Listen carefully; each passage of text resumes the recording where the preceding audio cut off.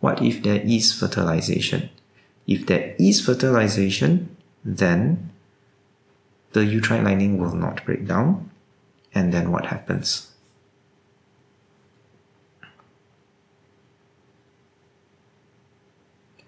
Okay, if fertilization were to occur, then the uterine lining is maintained as the fertilized egg continues its journey down the fallopian tube. In fertilization, the nucleus of the sperm cell fuses with the nucleus of the ovum. Now here I would like to show exactly what I mean when I say the nucleus fuses. Now let's say this is an egg cell and this is the nucleus of the egg cell. And let's say this is a sperm cell outside the egg cell with its nucleus in here. Now if the sperm cell fertilizes the egg, it is not that the sperm cell completely fuses with the egg cell. Only the nucleus will enter the cytoplasm of the ovum. The nucleus will move towards the nucleus of the ovum and then they will fuse. What about the rest of the body of the sperm cell? They will not be used. They will be discarded. And that's it. Okay?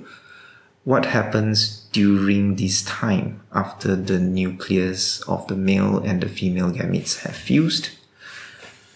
They will divide.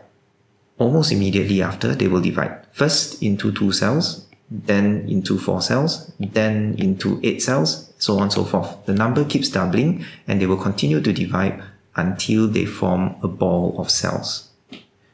Okay? The zygote is what we call the fertilized egg. And once it has divided enough, it will turn into a ball of cells. That ball of cells will start to change shape. Instead of being a ball, it will then gradually develop into something different called the embryo. Now, we won't discuss this in detail under lower sec science. So it's enough if you just call it a ball of cells or embryo. Here, they don't really penalize you for calling it either way.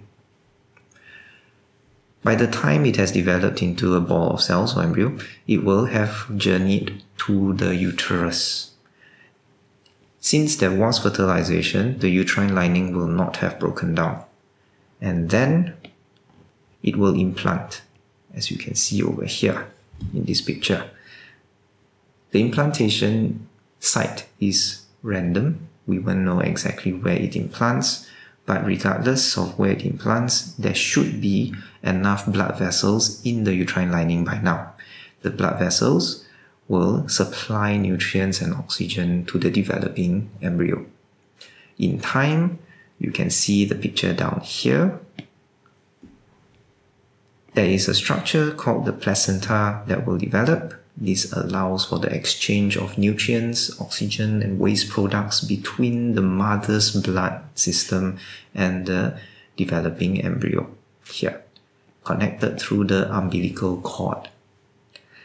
Over time, it will grow bigger and develop into a fetus.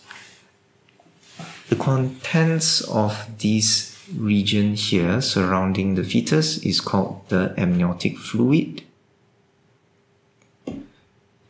This region is called the amniotic cavity. It is surrounded by a bubble. The bubble is called amnion. This is the water balloon, so-called water balloon, that bursts just before childbirth.